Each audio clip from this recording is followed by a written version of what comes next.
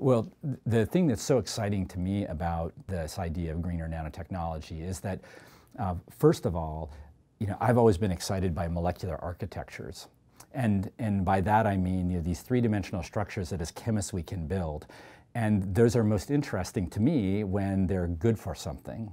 And uh, from the green chemistry perspective, when they're not bad for other things. And so this idea that we could learn how to harness molecular architecture to to drive the beneficial properties and to eliminate the, the negative properties, that, that is really exciting. It's like the ultimate design challenge, but you know, at a, at a nanoscale level, at, at that invisible level, how do we, how do we learn how to harness architecture to get the properties that we want?